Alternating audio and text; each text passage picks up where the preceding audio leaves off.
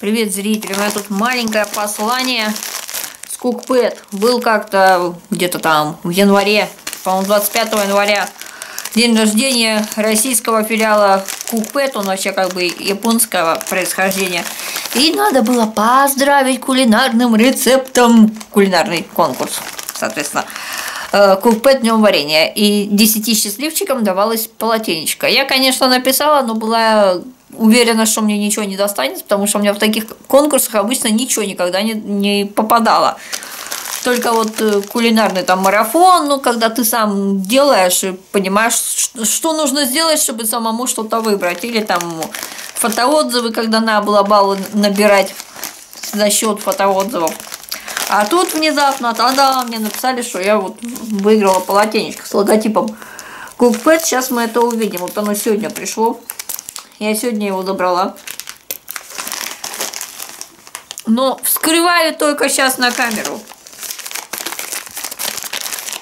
А вообще сейчас практически полдевятого. И сегодня у нас 13 февраля. Я там на кухне зависаю и готовлю на завтра на покушать.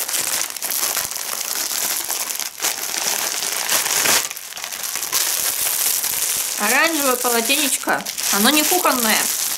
Им можно, допустим, личико вытереть, голову вытереть, если помыли. Сейчас мы его совсем скроем. Ну, я как бы видела, что там оранжевые полотенечки были. Как его вскрыть-то?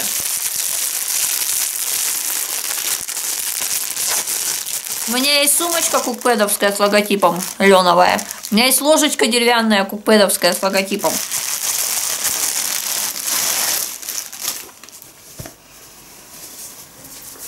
У меня есть специи кукпедовские. Слушайте, прикольно. Тут с, друг, с двух сторон. А нет, это просто вот, ну как вышивка, я только сейчас поняла. Короче, вот. И вот. Сто процентов хлопок. Эгегей.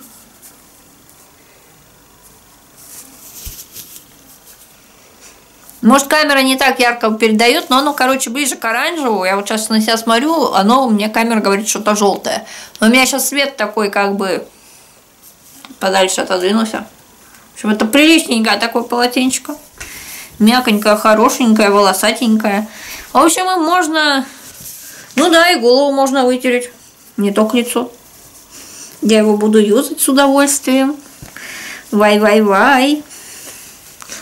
Можно сказать, практически подарок ко дню варенья, ибо день варенья у меня завтра. Кукпад.